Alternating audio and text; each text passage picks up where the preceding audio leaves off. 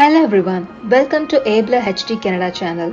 We are super glad to introduce an experienced dentist, Dr. Khan Chandrasekharam. Dr. Khan Chandrasekharam owns a hospital named C Dental Care. He has an overall experience of 30 years in this field. C Dental Care Hospital ensures to keep your smile healthy and nice. They provide many dental services such as fixed dental bridges and crowns, implant crown, orthodontic treatments, dentures and partial dentures, tooth extraction, minor oral surgery, and wisdom tooth. They also perform dental exams and cleaning, fluoride treatments, panoramic digital x rays, composite fillings, dental bonding, teeth whitening, and dental crowns. They use innovative technology which grants a long term guarantee. C Dental Care is located at 941 Taunton Road East, Oshawa, ON, L1H7K5. For further details and queries, contact 905 448 2500. வணக்கம். நீங்கள் பார்த்துட்டு இருக்கிறது Arbor HD Canada channel நான் உங்கள் விஜய் சோம்யா. இந்த நிகழ்ச்சியை நம்மளுக்கு வழங்குபவர் கனடாவில் முப்பது ஆண்டு காலமாக பல் மருத்துவத்துறையில் சிறந்து விளங்கும் C dental care doctor Chandra அவர்கள். இன்றைக்கி நம்ம எங்கே இருக்கோம் பார்த்தீங்கன்னா லோயலா காலேஜில் இருக்கும். இன்றைக்கி ஒம்போதாவது ஆண்டு வீதி விருது விழா லோயலா காலேஜில் நடத்திட்டு இருக்காங்க இங்கே எல்லாமே தமிழ்நாட்டு பாரம்பரிய கலைகள் டான்ஸ் அந்த கலைஞர்லாம் வந்திருக்காங்க. அது மட்டும் இல்லாமல் அசிசி இயற்கை மரபு சந்தையும் நடந்துகிட்ருக்கு வாங்க வீடியோக்குள்ளே போய் பார்க்கலாம்.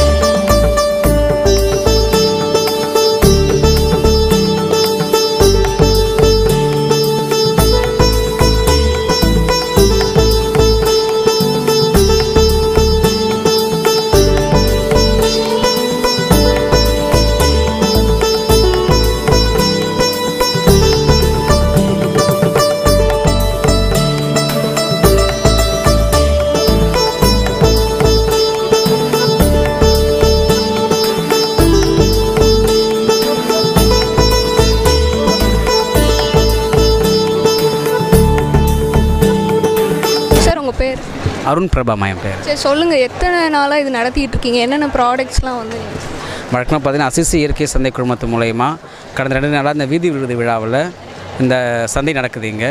நாங்கள் இங்கே வந்து பாரம்பரிய அரிசி போட்டிருக்கோம். அரிசி சாப்பிட்டாலே வந்து சர்க்கரை வியாதி வரும் அப்படின்ற ஒரு காலகட்டங்கள் இருக்குது இப்போ மக்கள் நம்புகிறாங்க அது ஒரு நம்ம நிறைய மூட நம்பிக்கை இருக்குன்னா அது ஒரு மூட நம்பிக்கை வகுத்த மூட நம்பிக்கை. இந்த அரிசி சாப்பிட்டா என்ன நன்மைகள்லாம் இருக்குது அப்படின்றத பட்டியலிட்டே போட்டிருக்கோம் இங்கே. எங்களுக்கு பார்த்திங்கன்னா தஞ்சாவூர் மையம் தஞ்சை டெல்டா பகுதி மையமாக வச்சுட்டு அரிசி இயற்கையாக நாங்கள் விளைவிக்கிறோம் மில்லு எல்லாமே சொந்தமாக இருக்குது அதே போல் நலிந்து விவசாயிகள்கிட்ட இயற்கை இயற்கை முறை விவசாயம் பண்ணுறவங்ககிட்டையும் நாங்கள் அவங்களுக்கும் கரம் கொடுக்குறோம். நலிந்து விவசாயிகள் யார் இருந்தாலும் அவங்ககிட்டயும் அவங்க என்னென்ன விளைவிக்கிறாங்கன்னு பார்த்துட்டு அதையும் நாங்களே நெல்லாவே வாங்கி கொள்முதல் பண்ணிவிட்டு அதையும் பண்ணிகிட்டு இருக்கோம். இப்போ எனக்கு எங்ககிட்ட நீங்கள் அரிசி வாங்கும் பொழுது என்ன உங்களுக்கு பெரிய பிளான் அப்படின்னா வந்து ஒன்று நஞ்சில்லாத உணவு உங்களுக்கு கிடைக்கும். ரெண்டாவது நலிவுற்ற இயற்கை விவசாயிகளுக்கு நீங்களும் உதவிகரமாக இருந்த மாதிரி இருக்கும். அதாவது உழவு கை கொடுப்போம்ன்றதை விட உழவனை கை தூக்கி விடுவோன்ற ஒரு கொள்கையில் போயிட்டுருக்கோம் நாங்கள் என்னென்ன ப்ராடக்ட்ஸ்லாம் வச்சுருக்கீங்க? அதை பற்றி கொஞ்சம் சொல்லுங்கள் இப்போ இங்கே இந்த சந்தையில் பார்த்தீங்கன்னா மாப்பிளை சம்பா இருக்குது நம்ம கிட்ட பூங்கார் அரிசி இருக்குது அப்புறம் வழக்கமாக சொல்கிற மாதிரி இருக்கிறது இந்த சிறுதானியங்கள் வரகு சாமை குதிரைவாளி இது எல்லாமே இருக்குது நாட்டு கம்பு இருக்குது சோளம் நான் இங்கே வந்து இருக்கும்போது பல பழைய கேட்டாங்க. வெள்ளை சோளம் சிவப்பு சோளம் ரெண்டுமே வச்சுருக்கோம். எல்லாருமே கேட்டாங்க சிவப்பு சோளம் ஒன்று தெரியாதுங்க. எங்களுக்கு வழக்கமாக சிவப்பு சோளம் மக்காச்சோளம் இருக்குங்க. அதான் சிவப்பு சோளம் வச்சுருக்கோம் இப்படி ஒன்று இருக்கா அப்படின்ற மாதிரி பல பேர் கேட்டாங்க. எங்களுக்கு அதுவே வந்து பரவாயில்ல. இந்த மக்களுக்கு இப்படி விழிப்புணர்வு கொடுத்தோன்ற வகையில் எங்களுக்கு நாங்கள் சந்தோஷப்படுறோம் உண்மையாக பார்த்தீங்கன்னா மக்காச்சோளம்ன்றது வந்து பார்த்திங்கன்னா இப்போ நம்ம சோள மாவு அது மாதிரி போயிடுறது. இன்னொன்று பார்த்திங்கன்னா புழக்கத்தில் இருக்கிறது மக்களுக்கு. இப்போ முக்கியமாக நம்ம எல்லாருமே சொல்கிறது நீரிழிவு நோய்க்கு சொல்கிறதுன்னா ஃபைபர் உங்கள் கண்டென்ட் இல்லை. ஃபைபர் கண்டென்ட்டான ஃபுட்டு சாப்பிடுங்கன்னா சொல்கிறாங்க அதுக்கு அவங்க குறிப்பிட எல்லாமே கோதுமை மட்டுமே. ஆனால் சிறுதானியங்கள் நீங்கள் எந்த அளவுக்கு எடுத்துக்கிறீங்களோ அது மூலிமா உங்களுக்கு எல்லா ஃபைபர் கண்டென்ட்டும் கிடச்சிருது. இன்னொன்று ஓட்ஸ் சொல்லுவாங்க. ஓட்ஸ்ன்றது எந்த அளவுக்கு மக்களுக்கு விழிப்புணர்வு இருக்குன்னு தெரியல. ஓட்ஸ் ஒரு குறிப்பிட்ட நாடில் குதிரையை பயன்படுத்துகிற தவிடு அது. அந்த தவிர நமக்கு உணவுப் பொருளாக கொடுத்துட்ருக்காங்க. அந்த மாதிரி உணவுப் பொருளை தவிர்த்துட்டு இது மாதிரி நஞ்சில்லாத உணவுப் பொருட்களை பாரம்பரிய நம்முடைய மரபு சார்ந்த உணவுப் பொருள் சாப்பிட்டோம்னாலே நம்ம ஆரோக்கியமாக இருப்போம். ரொம்ப யோசிக்க வேணாம். ஒரு ஐம்பது வருடத்துக்கு முன்னாடி பார்த்திங்கன்னா நம்முடைய தாத்தா பாட்டிகள் அவங்க அவங்க எப்படி இருந்தாங்க நம்முடைய அப்பா அம்மா எப்படி இருக்காங்கன்னு பார்த்தா வித்தியாசம் தெரிஞ்சு உணவில் எந்தளவுக்கு மாற்றம் இருக்குது அப்படின்றது. உணவு மாற்றத்தை நமக்கு தெரிஞ்சோ தெரியாமல் உருவாக்கிட்டாங்க.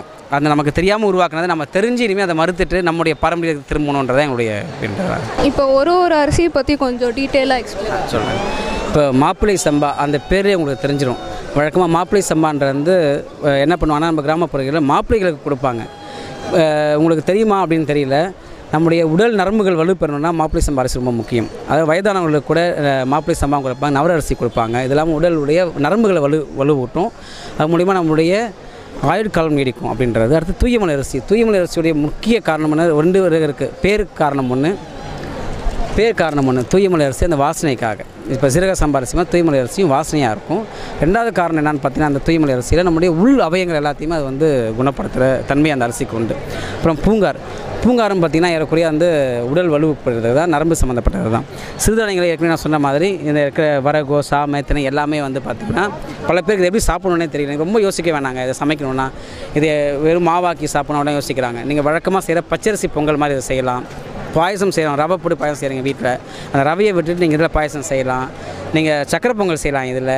நீங்கள் பச்சரிசி வச்சு என்ன பண்ணுவீங்க அது எல்லாமே பண்ண முடியும் இதில். இப்போ இது இது வந்து நமக்கு எந்த அளவுக்கு கை கொடுக்குன்னு பார்த்தீங்கன்னா நம்முடைய உடல் அவயங்கள் உள்ளுறுப்பு எல்லாத்தையுமே வந்து மீட்டெடுத்துரும். உண்மையாக சொல்ல போனீங்கன்னா இங்கே இது இந்த உணவுக்கு நீங்கள் மருந்துட்டிங்கன்னா உணவு மருந்துன்ற நம்முடைய கலாச்சாரத்தை நம்ம திரும்பிடுவோம். மருத்துவம் மருந்து மருத்துவர் அப்படின்ற தேவை நம்முடைய வாழ்க்கையில் இருக்கிறதுக்கு வாய்ப்பே இல்லாமல் போகும். இங்கே பார்த்தீங்கன்னா இந்த ஸ்டாலுக்கு பக்கத்துலேயே அவங்க பக்கத்தில் ஒரு ஸ்டால் வந்து செக்கில் ஆட்டின எண்ணெயெல்லாம் வச்சு விற்பனை பண்ணிகிட்டு இருக்காங்க. அதுவும் அவங்களோட கடை தான். அவங்கக்கிட்ட வாங்க பேசலாம். இப்போ வந்து இந்த ப்ராடக்ட்ஸ் பற்றி சொல்லுங்கள் செக்கில் ஆட்டின எண்ணெய் அதை பற்றி சொல்லுங்கள் முதல்ல நான் வந்து சில எதிர்மறையான கருத்துக்களை சொல்லிடுறேன். அப்போ தான் நேர்மையான கருத்து நம்ம போகும்போது ரொம்ப விளக்கமாக புரியும். வழக்கமாக இப்போ செக்கு எண்ணெய் அப்படின்றது பல பேர் வச்சுருக்காங்க. அது ஒரு ஆங்கிலத்தில் ஆங்கிலத்தை சும்மா ட்ரெண்டாக போயிடுச்சு செக்கு நான் இப்போ சாப்பிட்றேன் அப்படின்றது ஆனால் செக்கியை நம்ம சரியான செக்கெண்ணெய் வாங்கி சாப்பிட்றோமா அப்படின்றது முதல் கேள்விக்குறி. உதாரணத்துக்கு பார்த்தீங்கன்னா இப்போ நாங்கள் இங்கே வந்து செக்கெண்ணெய் வச்சுருக்கோம். வச்சு விலை சொல்லும்பொழுது இது உண்மையான எண்ணெயான்னு கேட்குறாங்க ஏன்னா எங்களுடைய விலை குறைவு. முடி முதல் காரணம் அது. விலை குறைவாக இருந்தாலே தரம் கீழே இருக்கான்னு யோசிக்கிறாங்க. அப்படி கிடையாதுங்க. நம்ம சரியான முறையான செய் முயற்சியை எடுத்தோம்னாலே தரத்தையும் விலையையும் நிறைவாகவே கொடுக்க முடியும் மக்களுக்கு. இப்போ எங்களுடைய கொள்கை என்னென்னு பார்த்தீங்கன்னா எளிய மக்களுக்கு போய் சேரணுன்றது தான். இப்போ நம்முடைய இது பார்த்திங்கன்னா இருபது வருஷமாக நாங்கள் வந்து பாரம்பரிய முறையில் மர செக்கில் கல் செக்கை வச்சு ஆட்டிகிட்டு இருக்கோம்.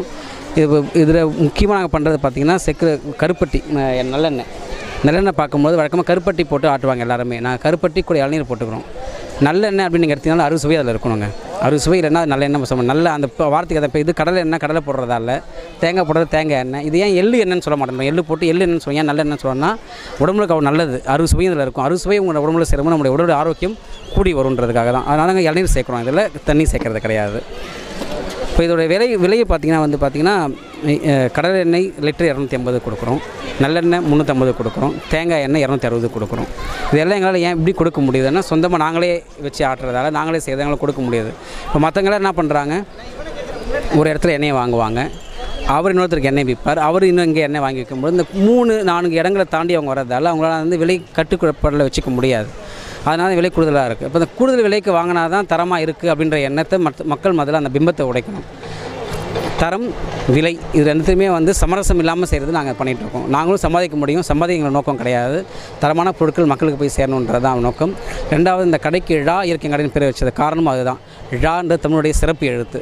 வேறு ஒரு வார்த்தையை நான் வச்சுட்டு பேர் வைக்கிறதை விட தமிழோட சிறப்பு எழுத்து வச்சுக்கலாம் அப்படின்னு தமிழ் மொழியும் சேர்க்க முடியும். இப்போ என்னுடைய மொழி என்னுடைய மண் என்னுடைய மரபு என்னுடைய பண்பாடு எல்லாத்தையும் நான் கொண்டு போய் சேர்க்கறதுக்கு நான் முயற்சி எடுத்துகிட்ருக்கோம் அப்புறம் இன்னொன்று பார்த்தீங்கன்னா இந்த செக்கு எண்ணெய் அப்படின்னும் பொழுது பார்த்தீங்கன்னா இந்த மிஷினில் ஆட்டுறதுக்கும் இரும்பு செக்கு இருக்கும் மர செக்கு அதுக்கும் என்ன வித்தியாசம்னு பார்த்தீங்கன்னா இப்போ ஒன்றும் இல்லைங்க நம்ம வழக்கமாக பேசுகிறது தான்.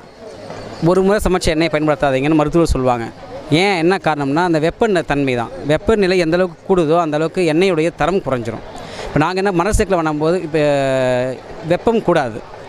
எண்ணெய் தரமாக வந்துடும் இன்னொன்று அதுக்கப்புறம் என்ன பண்ணுவோம்னா அதனுடைய படிநிலைகள் அந்த புண்ணாக்கு அதெல்லாம் இறங்கணுன்னா வெயிலில் வைப்போம். சூரிய ஒளி வெளியில் வைப்போம். இவங்க என்ன பண்ணுறாங்கன்னு பார்க்கும்போது இரும்பு சைக்கிள் ஆட்டும்போது என்ன ஆகிடுது ஆட்டும்போது வெப்பம் கூடிடுது. வெக்கப்பு வெப்பம் கூடும்போது என்ன அது தரம் குறைஞ்சிடும் ஒரு தரம்னா ஒன்றும் இல்லை. அந்த விட்டமின் அதோட கண்டென்ட் குறைஞ்சு போயிடுது. அப்போ உங்களுக்கு வரும்பொழுதே அது முழுமையான ஒரு தன்மையோட வரதில்லை தரம் ஒரு குவாலிட்டி அப்படின்னு பார்க்கும்போது ஒரு அன்பு ஐம்பது விழுக்காடு வந்துடுது. திரும்ப நீங்கள் சமைக்கிறதுக்காக திரும்ப அடுப்பில் ஊற்றும்போது அதோடைய தரம் இன்னும் குறைஞ்சி போயிடுது. அப்போ உங்கள்கிட்ட உள்ள நீங்கள் இன்டேக் எடுக்கும்போது அதோடைய தரம் ரொம்ப குறைவாக தான் இருக்கும். நம்ம மனசில் தான் இருக்கும். நம்ம மரசுக்கு என்ன வாங்கி பயன்படுத்தணும்? இல்லை செக்கு என்ன வாங்கி பயன்படுத்தணும் அப்படின்னு இருக்கும்.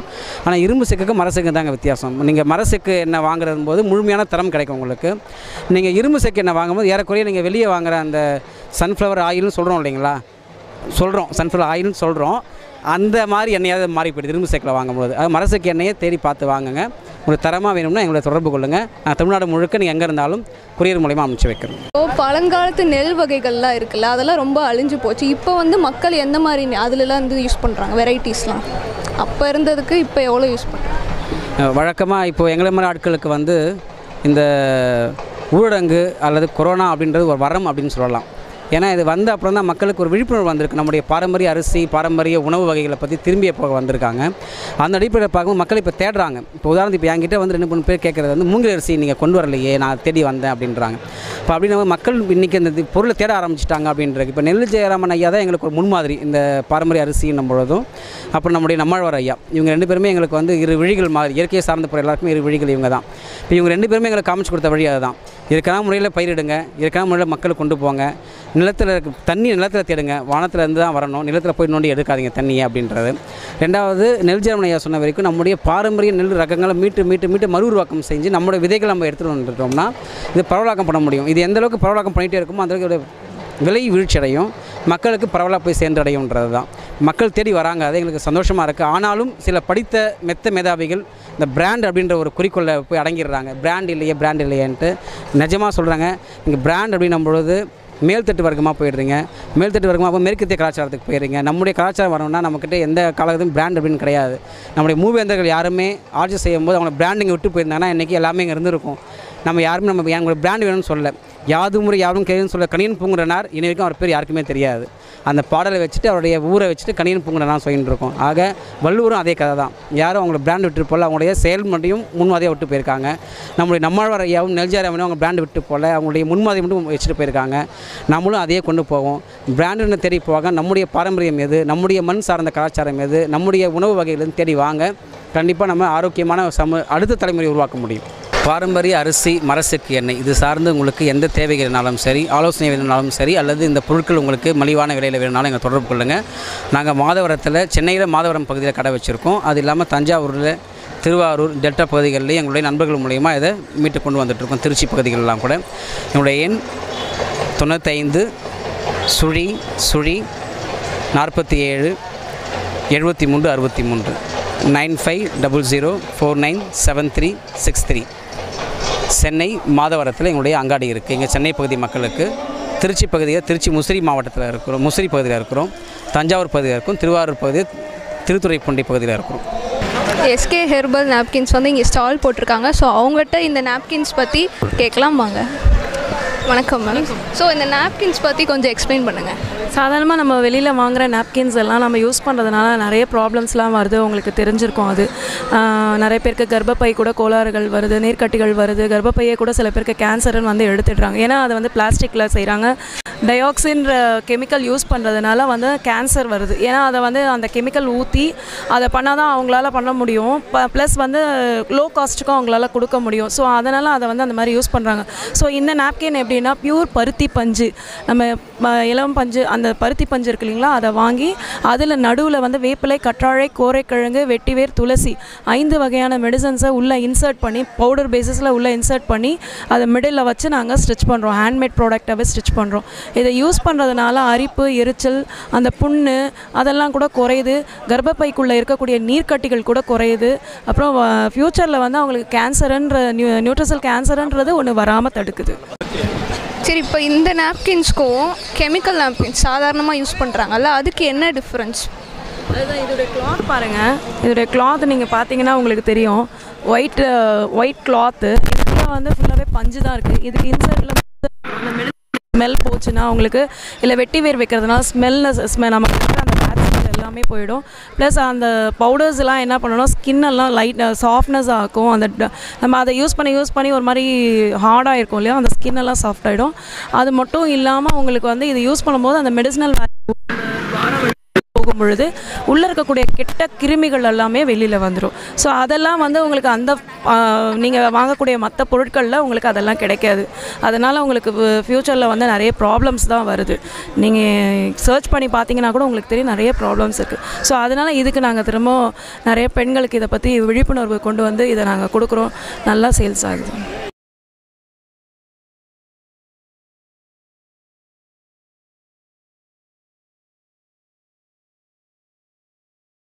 ஸ்ரீ ஜனக மாரியம்மன் கரக ஒயிலாட்ட குழு அவங்க குழு இப்போ நம்ம கூட இருக்காங்க. வாங்க அவங்ககிட்ட பேசலாம். வணக்கம் ஐயா. வணக்கம். பேர்? மணிகண்டன். எத்தனை வருஷமாக வந்து இதில் இருக்கீங்க இந்த கலையில் இருக்கீங்க? இது எங்கள் பாட்டையா காலத்துல இருந்து ஒரு நாற்பத்தஞ்சு வருஷமாக இருக்கும். எங்கள் பாட்டையாக்கு அப்புறம் எங்கள் அப்பா சொல்லி கொடுத்துருக்காரு. எங்கள் அப்பா வந்து எங்களுக்கு சொல்லி கொடுத்துருக்காரு. எங்கள் நாங்கள் வந்து சிறுவர்களுக்கு சொல்லி கொடுத்துருக்கோம். இப்படியே என்னன்னா நாங்கள் பூரா அப்புறம் விவசாய வேலை பார்த்துக்கிட்டு இருக்கோம். பார்த்துக்கிட்டு இருக்க மாதிரி எங்கள் பாட்டையா சொல்லி கொடுத்து எங்கள் அப்பா சொல்லி கொடுத்து எங்கள் அப்பா சொல்லி கொடுத்து இப்போ எங்களுக்கு சொல்லி கொடுத்துருக்காங்க. அந்த நிகழ்ச்சியை எங்கெங்கே கிராமப்புறங்களில் எங்கெங்கே திரு வீதி ஊர் திருவிழா இப்படி அரசு ஃபங்க்ஷன் ஏதாவது கூப்பிட்டாங்கன்னா இதுக்குன்னு நாங்கள் போவோம். இப்போ ரெண்டு வருஷமாக கொரோனா காலத்தினால எங்களுக்கு எதுவுமே யாருமே கூப்பிடல செய்யலை. எல்லா பேருக்கு ஆட்டம் மறந்துருச்சா என்னாச்சுன்னு ஒன்றும் தெரில இது இருந்தாலுமே நாங்கள் மாதத்துக்கு ஒரு ட்ரிப்பு ரெண்டு ஒரு மூணு மாதத்துக்கு ஒரு ட்ரிப்பு நாங்கள் குழுவை கூப்பிட்டு அந்த ஆட்ட பயிற்சியை சொல்லி கொடுத்துட்டு கற்றுக்கிட்டே வந்தோம். இப்போ இப்போ கலைப்பண்பாட்டுத்துறையிலேருந்து எங்களுக்கு அழைப்பு வந்து இந்த மாதிரி நிகழ்ச்சி நடத்துகிறேன் வீதி உலாவுக்கு வாங்க இல்லம் தேடி கல்வி திட்டத்துக்கு நீங்கள் வாங்க நீங்கள் நல்லா புரோக்கரம் பண்ணுறீங்க வாங்கன்னு சொல்லி அழைப்பு வந்ததுனால எங்கள் கை காசை செலவு பண்ணி நாங்கள் வந்து இங்கே வந்து நிகழ்ச்சியை வந்து ஆடி கொடுத்து இந்த மகிழ்ச்சி வைக்கிற மாதிரி வந்திருக்கோம். ஐயனார் என் பேர். வந்து எவ்வளோ நாளாக வந்து இந்த கலை கற்றுக்கிட்டீங்க ஒரு வருஷமாக கற்றுக்கிட்டேன் இது எங்கள் திருவிழாவில் ஆடுவாங்க அதனால் எங்களுக்கு ஆசை வந்துச்சு அதனால் கேட்டோம். சொல்லித்தரேன்னு சொன்னாங்க அதனால் நாங்கள் பழகிட்டோம் உன் பேருப்பா என் பேர் ஸ்ரீதர்.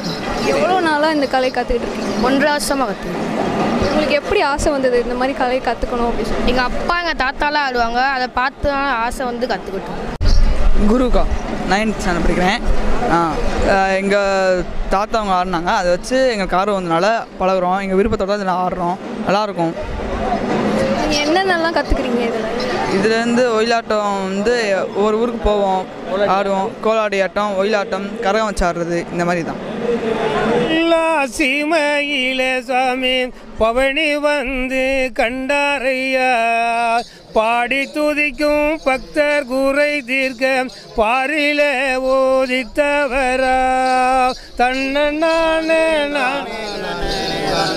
தானே நானே நானே நானே நம்ம சூக ரகசியரும் சாமி பந்தளத்தில் பட்டனது.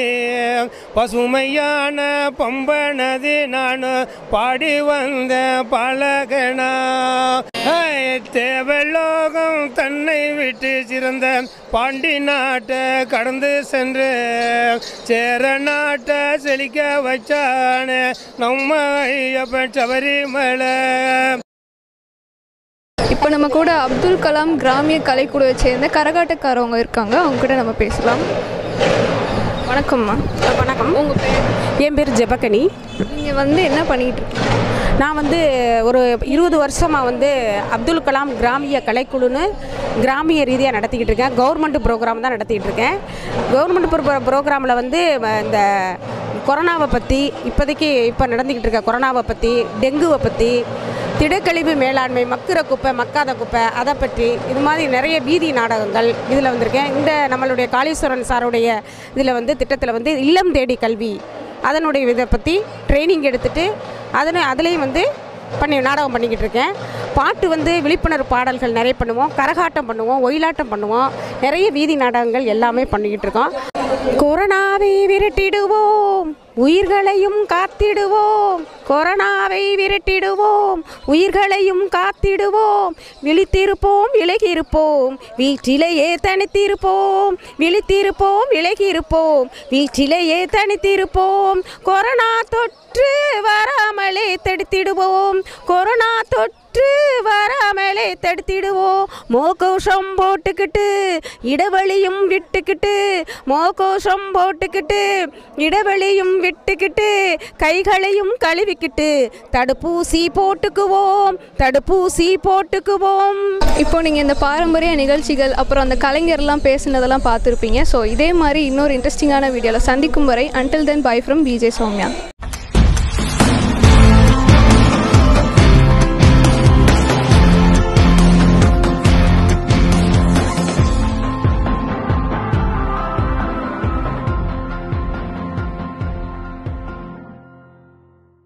Like and subscribe to Abler HD Canada and press the bell icon to get new video updates.